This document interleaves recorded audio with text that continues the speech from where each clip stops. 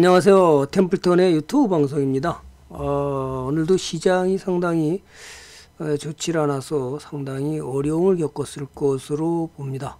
어쨌든 중- 중요한 것은 오전까지만 해도 상당히 좀 반등을 해주나 그랬더니 역시 오늘도 어, 최저점을 깼습니다. 물론 뭐 여기까지 과연 올지 어, 뭐 지켜봐야 될 것 같고요. 특히나 이제 미국이 일단 트럼프가 어, 화웨이에 대한 제재가 강화되면서 어, 미국 기업이 구글, 인텔, 퀄컴 이런 반도체 업체들이 화웨이에 대한 반도체 공급을 전부 중지시키겠다. 이런 얘기가 나오면서 더더욱 이게 어 그랬더니 음, 좀 어려움을 겪게 되는 것으로 보여져서요. 종목이 지수도 오늘 떨어졌고요. 그 다음에 코스닥도 역시 상당히 많이 떨어졌습니다. 전에 다시 떨어졌다가 다시 정말 어떻게 갈지는 좀 더 주고 봐야 되겠지만 60일까지 추세선을 깨서 상당히 어려움을 겪는 모습을 보이고요. 투자 집계를 한번 들어가 볼까요?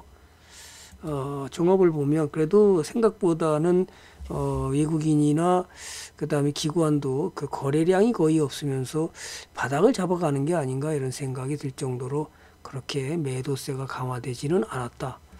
그죠? 예. 당연히 투, 금융투자가 그동안에 어, 펀드, 펀드 환매 때문에 상당히 고전을 면치 못하게 팔았는데요. 예, 지금은 좀 나아지는 경향을 지금 보이고 있고요. 투신도 오늘 매수 가담했어요. 연금요일로 많이 팔았죠. 자, 어쨌든 중요한 것은 뭐 지금 한번 다시 그 저기를 하면 뭐죠? 음, 거래량을 보면 제 최악의 거래량으로 거의 없을 정도로 거래량이 별로 없죠. 자, 그래서 아마 마무리돼 가는 게 아닌가라는 생각이 들기도 해요. 이제가 마무리 이미 뭐 터질 만큼 다 터졌죠. 뭐 그죠? 마무리될 만큼 가는 건가? 그 동안에 예 뭐 어쨌든 뭐 주- 코스닥이 일단 반등을 했다가 다시 원위치 거의 다 왔기 때문에 상당히 어려움을 겪었지만 뭐 추세는 이탈했다고 봐야 되는 거죠. 그래서 이것이 옆으로도 이런 식으로 그죠? 이런 식으로 가다가 올라갈 것인지 또 아니면 쌍바닥을 잡고 올라갈지는 아무도 모른다. 다만 어, 미국에 계속되는 그 어, 뭐죠? 반도체 화웨이에 대한 제재가 점점 더 강화되고 있다. 이렇다면 한쪽으로 비난하고 있는 왕이가 그죠? 중국의 왕이가 또 어떤 식으로 얘기를 지난번에 협의는 계속 할 수 있다라는 식으로 얘기했는데 그래서 오늘 아침에 지금 올라가더니 이제 구글과 인텔, 퀄컴 이런 마이크론사들이 어, 중국 제재, 화웨이에 대한 제재에 대해서 동참하면서 주가는 많이 떨어졌습니다. 자, 그 다음에 이제 또 하나가 이제 북한 그 오늘 어, 트럼프의 트위터에서 나온 얘기는 어, 핵시설이 최소한 다섯 개다. 어, 영변 외에 음, 다른 뭐 강성이라든지 다섯 개 정도가 더 있다는 것을 어, 1, 2개만 폐쇄를 원했었지만 김정은이는 1, 2개만 하려는데 미국에서는 이왕 협상하는 게 진짜 어, 협상을 하자. 이래 다섯 개를 다 어, 완전히 비핵화를 가자. 이렇게 얘기했는데 그것이 예 협상이 원치 않아서 일부만 일단 하고 나머지는 제재를 완화하는 쪽으로 가기를 원했던 것이 아마 북한 입장이었던 것 같아요. 근데 트럼프는 이왕 할 거면 다 하자. 이래서 이게 결렬이 된 것으로 보여지면서 연일 북한 쪽에서는 한쪽으로 남한을 갖다 계속해서 뭐죠? 어, 계속 비난하는 상황으로 벌어졌고요. 또 하나가 이제 석유공사 자회사 쪽에서 지난번에 2017년부터 예, 2017년부터 지금 어, 언젠가요? 2017년 11월인가요? 그래서 11월부터 이 석유가 65만 톤을 불법 환적한 것을 지금 7개국에서 우리나라의 바다에 와서 다 감시, 유엔 감시를 통해서 감시하고 있다는 사실이 이미 알려지면서 상당히 그 어, 석유공사 쪽에서도 또 지난 이러한 어, 문제가 터지면서 이것이 또다시 secondary boycott이 가는 게 아닌가라는 두려움이 사실은 앞서서 경제는 상당히 안 좋은 쪽으로 가고 있지만 오늘 전체적으로 상승한 것은 미세먼지 대책 종목들이 전체적으로 강하게 올라갔고요. 어, 대표적으로 보면 예, 크린 앤 사이언스라든지 그죠? 또 코트렐이라든지 KC 코트렐 예. 그 KC 코트렐은 못 올라갔네요. 그 다음에 이제 또 신일 산업이 예, 산업이 강하게 상승을 했고요. 그 다음에 위닉스 그죠? 예. 그 다음에 대유 에이텍인가요? 음, 얘는 못 올라갔네요. 지금 그러니까 보통 위닉스, 크린 앤 사이언스, 그 다음에 신일 산업이 강하게 올라왔고요. 그 다음에 제가 끊임없이 그 얘기했던 것 중에서 환율이 너무 급등해서 오늘 환율은 어떻게 됐나 한번 좀 볼까요? 음, 어, 환율이 오늘은 그래도 꺾었네요. 어, 1194를 찍었는데요. 자, 이렇게 환율이 올라감으로써 다국적 기업이 아닌 예, 수출 기업인 옷장사들이 상당히 주가가 강하게 올라가고 있죠. 물론 뭐 휠라 코리아는 뭐 계속해서 예, 이미 신고가를 냈고요. 거기다가 신세계 인터 내셔널 역시 예, 올라가고 있고요. 거기다가 이제 오늘 강하게 올라간 것은 코엘 패션보다 더 올라간 것이 누구냐 하면 역시 어, 코엘 패션도 올라갔지만 영원무역이 상당히 강하게 올라갔죠. 자, 이래서 뭐 영원무역이 신고가를 일단은 뭐 전국 신고가를 하고 있어서 강하게 양봉을 주고요. 거기다가 또 이제 또 하나가 FNF가 역시 강하게 올라갔습니다. 이것이 제가 주도주로 간다고 그랬을 때 사람들은 안 믿죠. 그죠? 주도주로 간다고 그랬더니 안 믿었죠. 물론 5G가 오늘은 조정받았지만 5G도 주도주로 가기 때문에 상당히 강한 모습을 보이고요. 거기다가 아울러 그동안에 조정했던 종이 목재가 실적이 다 개선돼 무림만 무림 PMP 하면 좀 실적이 조금 부진했죠.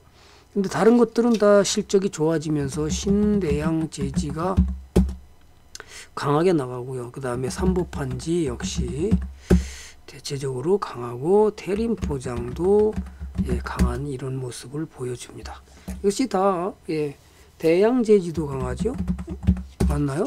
모르겠습니다. 대양제지도 예 역시 엄청난 신고가 행진을 가고 있죠. 자 이런 것들이 지금 예 다 뭐냐면 그 뭐죠? 어, 전부 다 신대양 제지부터 시작해서 종이 목재가 골 골판지들 골판지 종목들이 그대로 끝나는 게 아니라 예 강한 상승을 보인다. 그죠? 이렇게 얘기를 했는데요. 예. 또 역시 종이 목재 안 간다고 예, 다 판 사람들은 상당히 무림 피해만 좀 실적이 좀 부진했다고 그래서 얘가 조금은 아직 그저 추세 전환을 못하고 이러고 있습니다. 뭐 나쁜 종목은 아니에요. 아직도 저평가하고 뭐 그죠 상당히 좋은 종목인데 우량한 기업이고 그런데 어, 얘는 그 무림 PMP는 조금 차이가 있는 것이 어, 펄프하고 골판지를 두 개를 하다 보니까 그러면 일단 이제 다른 것은 뭐 볼겐 제가 볼 때는 없고요. 이 종목들이. 그 다음에 이제 그거 말고도 강하게 지금 상승하는 것은 예, 바닥에 있는 종목들이 굉장히 강하게 나가고 있습니다. 특히 이제 뭐, 음, 테마로 나간 것은 뭐 빼고요. 그죠? 테마로 나간 것은 뭐? 에이텍이라든지 뭐, 누구 테마요? 예, 이재명 테마라든지 이런 것들은 뭐 제가 바닥에서 샀기 때문에 이 테마 관계없이 우리 갖고 있었더니 강한 상승을 줘 수익을 준 거죠. 자동차 부품주들이 강하게 나가는 것은 백산이 종목이 강하게 나가고 있습니다. 오늘 현대차도 올라갔나요? 예, 현대차가 현대차가 올라가고 백산이 올라가고 이렇게 SL 그 다음에 도이치 모터스 이런 실적이 개선되면서 자동차 관련 동료들이 예, 강하게 MS 예, 오토텍 이런 종목들이 전부 다 자동차 관련주들이 좀 강하게 나간 편이었습니다. 그래서 물론 주도주로 계속 가고 있는 종목은 지금 예, 실적이 좋아서 가고 있는 종목은 아프리카 TV라든지 그죠? 또